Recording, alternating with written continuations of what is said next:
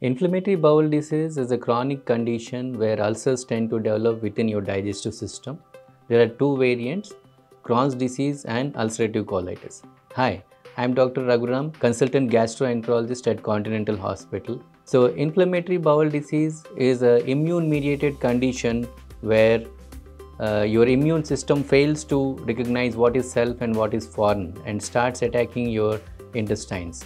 The common symptoms with inflammatory bowel disease are abdominal pain, diarrhea, weight loss, and also blood in the stool. And uh, in a genetically predisposed individual, certain other unknown triggers can lead to inflammatory bowel disease. It is assumed that the processed and ultra processed foods when taken on a regular basis can lead to inflammatory bowel disease. Added to that, excessive stress has also been shown to worsen the symptoms of inflammatory bowel disease. Now, how to get rid and control the symptoms of inflammatory bowel disease? Add some exercise to your daily routine.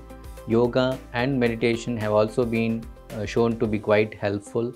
Stick to natural foods, avoid processed foods, and take care of the uh, stressful situations. Thank you.